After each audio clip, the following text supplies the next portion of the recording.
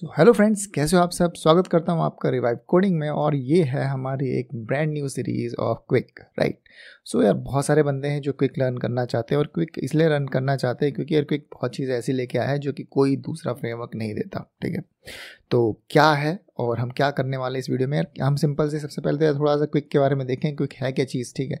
और उसके बाद हम अपना जो बेसिक सेटअप है, ठीक है, वो बेसिक सेटअप करेंगे और फिर फाइनली हम अपना फोल्डर स्ट्रक्चर समझेंगे कि क्विक में जो फोल्डर स्ट्रक्चर है वो कैसा है, कहाँ क्या होता है, ठीक है, और फिर फाइनली हम अपना एक बेसिक सा हेलो वर्ल्ड कंपोनेंट बनाएँगे, ठीक है ग्रेट तो चलो क्विक में शुरू करने से पहले तो सबसे पहले क्विक की डॉक्यूमेंटेशन पे आप आओगे, ठीक है? तो अगर मैं आपको सबसे इनिशियली दिखाऊँ, ठीक है? तो जैसे आप क्विक को लोड करोगे, ठीक है?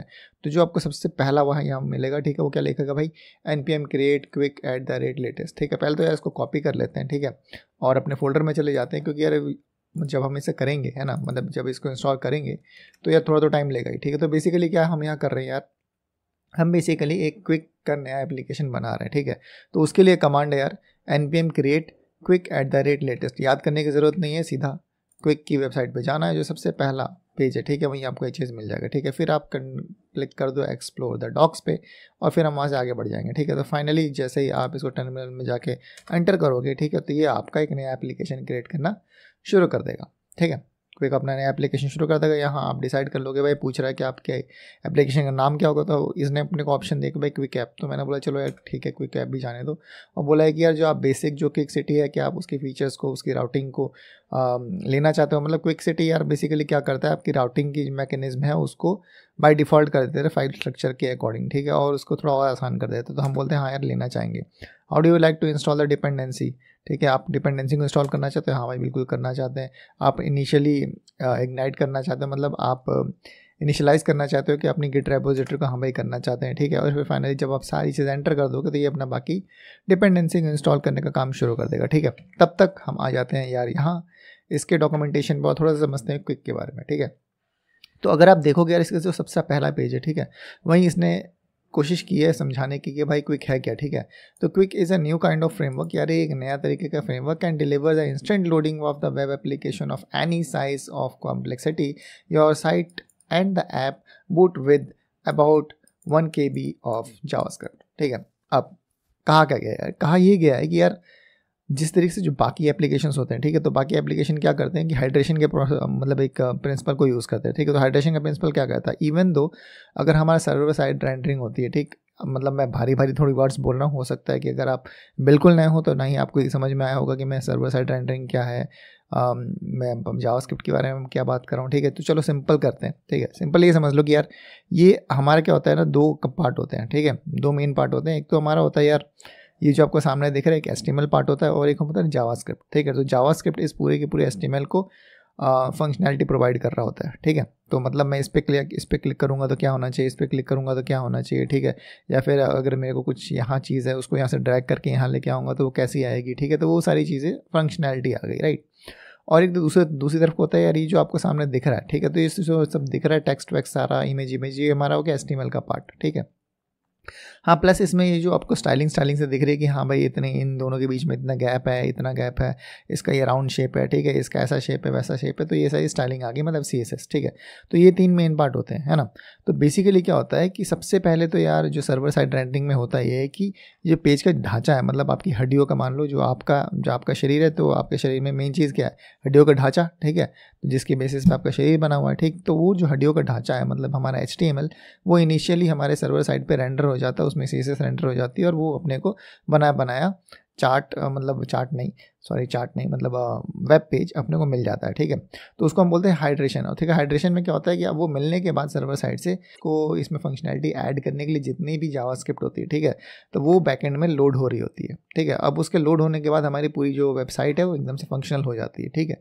तो इस तरीके से ज़्यादातर जो फ्रेमवर्क्स हैं, वो काम करते हैं, ठीक है? तो क्विक यार क्विक बोलता है कि नहीं यार मतलब जो हाइड्रेशन का प्रिंसिपल है ना यार मतलब वो जो मैंने आपको जस्ट बताया, उसको हाइड्रेशन कहते हैं, ठीक है?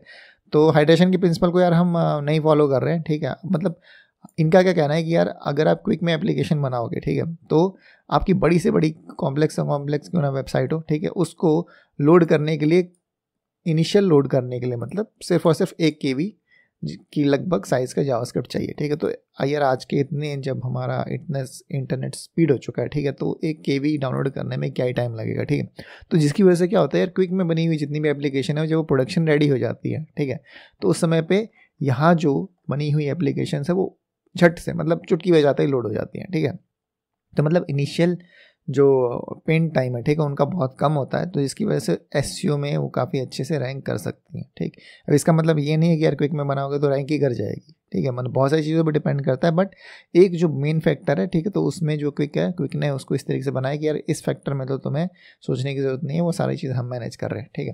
तो क्विक का एक सबसे बड़ा एडवांटेज है, ठीक है? अब इसके बाद अगर आप इसके प्रॉपर डॉक्यूमेंटेशन में जाओगे गेट स्टार्टेड करके और यहाँ इसके रिज्यूमेबिलिटी वाले कॉन्सेप्ट पे जाओगे, ठीक है, और इस पर क्लिक करोगे तो यार इसमें अलग इसका डॉक्यूमेंटेशन है कि ठीक है यार रिज्यूमेबिलिटी और हाइड्रेशन क्या है, ये किस तरीके से एक दूसरे से अलग है, हमने कौन कौन से फीचर्स अपने में ऐड किए हैं रियलाइजेशन किस तरीके से ऐड किया है, ठीक है तो ये सारी चीज़ें अभी हम डिस्कस नहीं करने वाले क्योंकि हर एक टॉपिक पर काफ़ी लंबी वीडियो बन जाएगी, ठीक है।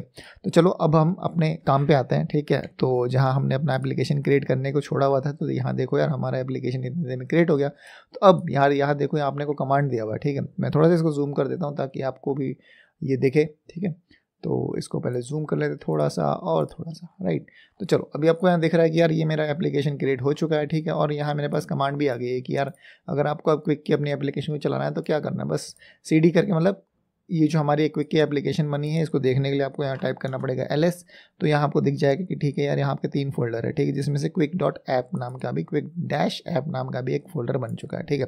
तो इसके अंदर हम जाएँगे यार क्विक डॉट डैश के अंदर एंटर करेंगे, ठीक है, और फिर फाइनली अगर मेरे को इस क्विक की एप्लीकेशन को रन करना है तो मेरे को क्या कमांड यूज़ करनी पड़ेगी? एन पी एम स्टार्ट ठीक है, मगर हम बेसिकली क्या करेंगे? हम लिखेंगे कोड सी ओ डी ई ठीक है, और फिर देंगे एक space sorry C O D और स्पेस और एक डॉट ठीक है, इससे क्या होगा यार हमारे वी एस कोड एडिटर में मेरा फ़ाइल खुल जाएगा। ठीक है ग्रेट अब खुल गया। अब हम इसको रन भी कर लेते हैं। रन करने के लिए सिंपल सा कमांड है एन पी एम स्टार्ट तो हम यहाँ लिखते हैं N P M S T A R T ठीक है, और जैसे आप इसको एंटर करोगे तो आपका जो एप्लीकेशन है वो रन हो जाएगा। ठीक है, और कौन से पोर्ट पे? यार देखो यहाँ पोर्ट 5172 पे बाय डिफ़ॉल्ट इसने ये हमारा एप्लीकेशन क्विक का लोड कर दिया। ठीक है, अब आप देखोगे यार ये बेसिकली ये मैंने नहीं बनाया, है ना? ये बस बना हुआ है, ठीक है? तो इस एक तरीके एक तरीके आपको क्विक की एप्लीकेशन इस तरीके से आपको मिल जाएगी, सामने बनी हुई, ठीक है? और इसका कोड हमने देखने के लिए यहाँ आ जाते हैं अपने कोड एडिटर पे। यहाँ मैं कर देता हूँ हाँ भाई, मैं ट्रस्ट करता हूँ, ठीक है? इसको काट देते हैं और फिर फाइनली ये जो हो रहा है, इसको होने दो, ठीक है? मतलब इसको बढ़ा देते हैं फ़िलहाल के लिए। और यहाँ हम थोड़ा सा फ़ाइल स्ट्रक्चर पे अब आ जाते हैं कि यार जो आपको फ़ाइल स्ट्रक्चर है, ठीक है? थोड़ा सा इसको तो समझना पड़ेगा ना, क्योंकि हमें क्विक सीखना है, ठीक है? तो क्विक सीखना है तो इसमें सबसे पहले तो आता है फ़ाइल स्ट्रक्चर कहाँ क्या चीज़ पड़ी हुई है, ठीक है? तो सिंपल है यार, ज़्यादा कुछ नहीं है। जितनी भी हमारी सबसे पहले पैकेज डॉट जेसन हमारा सबसे वो मेन फ़ाइल होता है, जिसको समझना ज़रूरी है, ठीक है? तो पैकेज डॉट जेसन में अगर आप देखोगे तो यार यहाँ तो आपको दुनिया भर के स्क्रिप्ट है, ठीक है? अब ये स्क्रिप्ट क्या करती हैं, मेरे को, मैं मतलब ये मान के चलता हूँ, यार आप में से कुछ होंगे जिनको कुछ ही नहीं समझ में आता, ठीक है? मतलब बिल्कुल नए नए शुरू कर रहे हो। और हो सकता है कि कुछ होंगे यार जो एक्सपीरियंस होंगे राइट तो मैं मान के चलता हूँ, मैं थोड़ा बहुत बताऊँगा और जैसे जैसे हम आगे बढ़ेंगे, हम इसको मोर डिटेल में डिस्कस करेंगे कि हर एक चीज़ क्या है, ठीक है? तो यार यहाँ जो आपको तीन कमांड्स हैं, ठीक है, जो बहुत ज़्यादा ज़रूरी हैं आपको समझने के लिए, ठीक है? वो क्या है? यार पहला तो डेव है, ठीक है? तो डेव बेसिकली क्या करेगा यार, ये डेव वही है जो कि आपके इसको एप्लीकेशन को रन कर रहा है, ठीक है? तो आप इसको डेव का यूज़ कर सकते हो, ठीक है? और जो आपने अभी स्क्रिप्ट का यूज़ किया, स्टार्ट, ठीक है? तो यार यहाँ देखो, ये जो स्टार्ट बेसिकली क्या करता है, जैसे आप स्टार्ट कमांड को रन करते हो, जो कि हमने किया एन पी एम स्टार्ट ठीक है? तो वो क्या करता है? वो इस वाली कमांड को एग्जीक्यूट कर देता है मतलब Vite dash dash open dash dash mode और एस एस आर ठीक है? तो मतलब सर्वर साइड रेंडरिंग हम यहाँ कर रहे होंगे, ठीक है? और इसको ओपन कर देना है, ठीक है? और इसको इस तरीके से आपको ओपन करना है कि वो हमेशा ही जैसे जैसे हम चेंजेस करते रहें क्विक के अंदर तो वो आपको दिखता जाए, ठीक है? अगर आपको प्रिव्यू देखना है तो आप इस तरीके से देख सकते हो। प्रिव्यू देखने से पहले बेसिकली आपको बिल्ड बनानी पड़ेगी। तो बिल्ड बनाने के लिए आप इस कमांड का यूज़ कर यूज़ करोगे मतलब N P M run build का, ठीक है? और अगर आपको प्रिव्यू देखना है तो आप N P M run preview का यूज़ करोगे, ठीक है? तो ये बेसिक कमांड्स होंगी।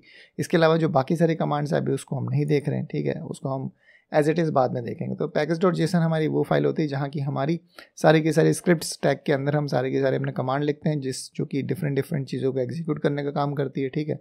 और डिपेंडेंसी के अंदर यार हम वो सारे के सारे पैकेजेस जो कि इसमें यूज़ हो रहे हैं, ठीक है? मतलब जो हमारे एप्लीकेशन में जितने भी पैकेजेस यूज़ हो रहे हैं तो वो सारे के सारे पैकेजेस मतलब एन पी पैकेजेस की लिस्ट आपको यहाँ मिल जाती है प्लस यहाँ जो आपको बगल में मिलता है, वो होता है सारा वर्जन ठीक है? कि पैकेज का कौन सा वर्जन है, ठीक है? ग्रेट चलो तो यार पहला तो मेन इंपॉर्टेंट आपकी फ़ाइल होगी पैकेज डॉट जेसन जिसमें के अंदर अंदर आपको सारी डिपेंडेंसी मिल जाएगी, ठीक है? और यहाँ देखोगे तो जो हमारी टाइप स्क्रिप्ट है तो बेसिकली जितने भी इसमें फोल्डर बने हुए हैं, ठीक है, वो सभी के सभी टाइप स्क्रिप्ट में बने हुए हैं, ठीक है? मतलब अगर हम अपने कोड स्ट्रक्चर में चले जाएँ तो आप देखो T S X T S X T S X T X X ठीक है? तो इसका मतलब यहाँ जो एक्सटेंशन यूज़ हो रहा है मतलब यहाँ by default TypeScript use हो रहा है, ठीक है? तो आपको थोड़ा बहुत टाइप स्क्रिप्ट भी पता होना चाहिए। चलो, नहीं होगा तो मैं तो बता ही दूँगा, ठीक है? चलो अभी फिर यहाँ आपने देख लिया, यहाँ पैकेज डॉट जेसन है। अब इसके बाद हमारी जो मेन और दो हमारी डायरेक्टरी बन जा, बच जाती है। ठीक है तो पहला होता है पब्लिक ठीक है तो पब्लिक में बेसिकली क्या है? जो भी हम ऐसी फ़ाइल रखना चाहते हैं, ठीक है? मतलब जो हम पब्लिकली अवेलेबल करना चाहते हैं कि कोई भी उसको एक्सेस कर सके। ठीक है? मतलब कोई रिस्ट्रिक्शन नहीं देना है। कहीं से भी कोई भी एक्सेस कर सकता है तो यार वो सारी फाइल्स हम यहाँ रखेंगे। ठीक है, हमारे केस में यार अभी हमने ये एक मैनिफेस्ट जो जेसन नाम का फिर यहाँ की इमेज है और फिर यहाँ robot dot T X T है, ठीक है robot dot T X T use होता है एस में तो वो मैं इसको बाद में बताऊँगा। ठीक तो जितनी भी आप पब्लिक स्टैटिक फ़ाइल रखना चाहते हो, जो कि आप चाहते हो कि यार जिसका एक्सेस आराम से सबको हो तो वो आप पब्लिक फ़ाइल के अंदर रख सकते हो। ठीक है, जिसमें कि आपके इमेजेस टेक्स्ट जेसन फ़ाइल जो भी आप डेटा वाली चीज़ें रखना चाहते हो, वो इसके अंदर रखो। ठीक है फाइनली आता है आपका एस आर सी ठीक है? मतलब एस आर सी फोल्डर और एस आर सी फोल्डर के अंदर अगर आप देखोगे तो दो सेक्शन हैं। पहला तो कंपोनेंट्स है यार और दूसरा है राउट्स ठीक है? तो राउट्स यार हमारे लिए बहुत ज़्यादा इंपॉर्टेंट है, मगर राउट्स से भी पहले हम थोड़ा सा डिस्कस कर लेते हैं जो हमारी मेन फ़ाइल है, ठीक है? तो ये जो हमारी आपको root dot T X T दिख रही है root dot T X T ये हमारी वो रूट फ़ाइल है जहाँ से हमारे एंट्री पॉइंट है, ठीक है? तो यही है वो सेक्शन जहाँ से हमारी एप्लीकेशन शुरू होती है, ठीक है? ये है वो जगह जहाँ से हमारी एप्लीकेशन शुरू होती है that is root dot T X T ठीक है? और अगर आप यहाँ पब्लिक में चले जाओ, चलो, गोली मारो उसको, ठीक है? पहले यहाँ समझते हैं। अब ये हमारा वो एंटर पॉइंट है, ठीक है? इसका मतलब यार यहाँ हमने हेडर डिस्क्राइब किया है, हमने बॉडी डिस्क्राइब की है, ठीक है? तो मतलब ये जो ऊपर में है, ये हमारा हेड सेक्शन है, ठीक है? और ये जो हमारा नीचे है, ये हमारा बॉडी सेक्शन है।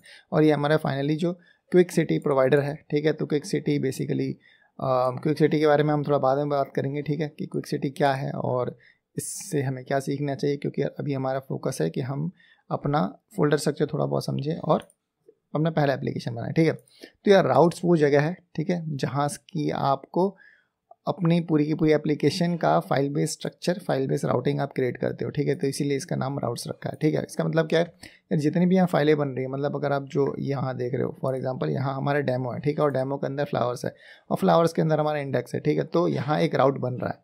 ठीक है? मतलब राउट मतलब एक पाथ बन रहा है। अगर मैं यहाँ स्लैश करूँ और यहाँ लिखूँ डैमो डैमो और उसके बाद क्या यार? उसके बाद फ्लावर है राइट तो हम स्लैश करते हैं F L O W E R flower ठीक है? तो बस इतना ही और इसके बाद हमारा इंडेक्स है, ठीक है? अगर मैं इसको एंटर करूँ तो मैं एक फ़ाइल खुलनी चाहिए, ठीक है? एंटर करते हैं और यहाँ देखो यार एक फ़ाइल खुल गई, है ना? तो ये बेसिकली फ़ाइल क्या है?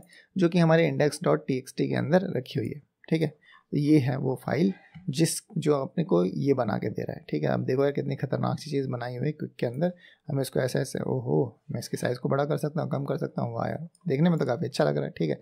तो ये बेसिकली कहाँ से बन रही है? ये इंडेक्स डॉट जे एस से बन रही है, ठीक है? तो इस तरीके से यहाँ फ़ाइल बेस्ड राउटरिंग काम करती है, उसके बारे में हम बाद में बात करेंगे, ठीक है? फ़िलहाल आपने यहाँ देख लिया कि यार ये वो जगह है कंपोनेंट जो कि हमारे राउट्स बनाने के लिए काम करती है। मतलब जैसे जैसे हम फ़ाइल का स्ट्रक्चर रखेंगे, उस तरीके से यहाँ राउट्स बनते जाएँगे, ठीक है? मतलब पाथ बनते जाएँगे। और ये हमारा तो अपना मेन पॉइंट हो गया, ठीक है कि अपने, हमने को जो भी पाथ बनाना होगा, हम राउट्स के अंदर जाके बनाएँगे। और यहाँ अगर आप देखोगे तो कंपोनेंट्स ठीक है? तो कंपोनेंट्स मतलब क्या यार? मान लो कि ऐसे बहुत सारी चीज़ें हैं कि आप अपने एप्लीकेशन को फॉर एग्जांपल अगर आपको डब्बे दिख रहे हैं तो यहाँ एक डब्बा, दूसरा डब्बा, तीसरा डब्बा तो बहुत सारे डब्बे हैं, ठीक है? तो इन डब्बों को आप अलग अलग अलग अलग कंपोनेंट में रखना चाहते हो, ठीक है? और आप इन डब्बों को बार बार या फिर मान लो कि ये ये मेरा एक बटन है ना, ये मेरा बटन है तो मैं यार एक ही बटन बनाना चाहता हूँ और उसी एक बटन को बार बार पूरे एप्लीकेशन में जहाँ जहाँ मेरे को बटन चाहिए, उस जगह में मैं यूज़ करना चाहता हूँ, ठीक? तो मतलब रीयूजेबल कंपोनेंट्स अगर मेरे को कुछ भी बनाने हैं, जिसको मैं एक बार बना के बार बार अपने डिफरेंट डिफरेंट कंपोनेंट्स में यूज़ करना चाहता हूँ डिफरेंट डिफरेंट पेजेस पे यूज़ करना चाहता हूँ तो वो सारे चीज़ें मैं बेसिकली इस कंपोनेंट फोल्डर के अंदर बनाऊँगा, ठीक है? तो चलो, अभी के लिए यार मेरे को कंपोनेंट फोल्डर में नहीं चाहिए, ठीक है? और मेरे को ये राउट्स के अंदर भी जितनी मेरी एक्स्ट्रा फाइल्स हैं, हम उन सबको हटा लेते हैं। फॉर एग्जांपल हम डेमो भी हटा देते हैं फ़िलहाल के लिए। डेमो को भी डिलीट कर देते हैं। डिलीट कर दिया, ठीक है। और उसके बाद हम अपना इंडेक्स बचा, ठीक है। तो इंडेक्स बेसिकली क्या है यार? इंडेक्स वही फोल्डर है जहाँ हम पहले थे, ठीक है। अब इस इंडेक्स के अंदर आते हैं और आप देखोगे तो यहाँ से जो भी आपको दिख रहा है क्विक विक जो भी है, ठीक है। तो ये सारा का सारा बेसिकली आपको इस फ़ाइल की वजह से दिख रहा है, ठीक है। तो सबसे पहले हम क्या करते हैं, इसके अंदर जितना भी ये कोड है, इसको सबसे पहले हटा देते हैं, ठीक है? और फिर अपन शुरू करेंगे अपने शुरुआत से, ठीक है? तो इसको सबसे पहले सिलेक्ट करते हैं और इन सबको हटा देते हैं यहाँ से, ठीक है? और एक सिंपल सा अपन टेक्स्ट लिखेंगे, जिसको हम बोलेंगे कि हेलो हेलो हेलो क्विक ठीक है? तो हेलो क्विक नहीं लिखेंगे क्विक ट्यूटोरियल लिख देते हैं, ठीक है? और एच टू टैग ले लेते हैं, ठीक है? और यहाँ लिख देते Qwik tutorial T U T O R A L R I L. ठीक है तो आप देखो यार क्विक ट्यूटोरियल यहाँ आ गया, ठीक है। अब आप बोलोगे कि यार, आपने सारी चीज़ हटा तो दी, मगर ये और ये नीचे मतलब हेडर और फुटर कहाँ से आ रहे हैं? ठीक है तो हेडर और फुटर के बारे में हम बाद में देख लेंगे कहाँ से आ रहे हैं। मगर आप यहाँ देखो, यहाँ एक दूसरा सेक्शन भी है, ठीक है तो यहाँ दो दो सेक्शन आपको दिख रहे होंगे। पहला तो यार सेक्शन दिख रहा है कि ये हमारा वो सेक्शन है जहाँ से हमारा ये वाली चीज़ रेंडर हो रही है, ठीक है मतलब ये मेरा कंपोनेंट का स्ट्रक्चर यहाँ से रेंडर हो रहा है, ठीक है, और दूसरी चीज़ है, जो रेंडर हो रही है, वो हो रही है ये। ठीक है डॉक्यूमेंट हेड ठीक है भाई डॉक्यूमेंट हेड क्या यार? ये हमारा बेसिकली जो भी हम आ, अपना एक हेडिंग सेक्शन होता है एक बॉडी सेक्शन होता है। तो ये जो हमारा सेक्शन आपको दिख रहा है ये स्क्रीन पे ठीक है मेरा बॉडी सेक्शन है। तो हेडिंग सेक्शन क्या है हेडिंग सेक्शन ये पीछे वाला सेक्शन है इधर देखो इंस्पेक्ट के अंदर। तो ये वाला जो आप देख रहे हो ये वाला जो मेरा सेक्शन है S T M L head ठीक है। तो इस हेड के अंदर हमारे सारे मेटा टैग्स होते हैं टाइटल के बारे में जो मेटा डिस्क्रिप्शन होते हैं ठीक है। या फिर जब अगर आप कहीं भी इमेज शेयर कर रहे होते हो ठीक तो ओ जी मतलब जो भी आपके इमेजेस टैग हैं या फिर जो सोशल मीडिया पे जब आप शेयर करोगे तो वहाँ क्या दिखना चाहिए, क्या टाइटल होना चाहिए, क्या डिस्क्रिप्शन होना चाहिए, ठीक है? ट्विटर पे शेयर करोगे तो क्या टाइटल क्या डिस्क्रिप्शन जनरल शेयर करोगे तो क्या और जो आपको यहाँ दिख रहा है, ठीक है? ये मतलब फॉर एग्ज़ाम्पल मैं यहाँ हूँ, ठीक है? तो यहाँ जो आपको पेज में जो आपको सबसे ऊपर दिख रहा होता है डिस्क्रिप्शन यहाँ छोटे से में लिखा हुआ, ठीक है? या फिर जो आपको ये दिख रहा है वेलकम टू क्विक ठीक है? तो ये सारी की सारी चीज़ें हम यहाँ सेट करते हैं, ठीक है? फॉर एग्ज़ाम्पल अगर मैं इस वेलकम टू क्विक को चेंज करके क्विक ट्यूटोरियल कर दूँ क्यू डब्ल्यू आई के ट्यूटोरियल क्यू डब्ल्यू आई के ट्यूटोरियल्स राइट तो अगर मैं इसको ये कर दूँ तो आप ऊपर देखो, अब ये चेंज होकर क्विक ट्यूटोरियल हो गया, ठीक है? उसी तरीके से मैं यहाँ इस पेज के बारे में क्या इन्फॉर्मेशन देना चाहता हूँ? गूगल को फॉर एग्ज़ाम्पल एस के लिए, ठीक है? तो वो मैं यहाँ देता हूँ, ठीक? है कंटेंट के, अगर मैं कुछ लिखना है तो मैं यहाँ लिखूँगा, ठीक है? तो इस तरीके से हम यहाँ मतलब अपने टैग्स का नाम और फिर उसमें लिखने जाने वाला कंटेंट हम यहाँ लिख सकते हैं, ठीक है? तो ये तो हो गया अपना सिंपल। तो फ़िलहाल के लिए हम ये भी हटा देते हैं। मतलब कम से कम कर देते हैं यार अपने एप्लीकेशन में, आलतू फालतू मेरे को नहीं चाहिए, ठीक है? तो बस इतना सा यहाँ चाहिए, ठीक?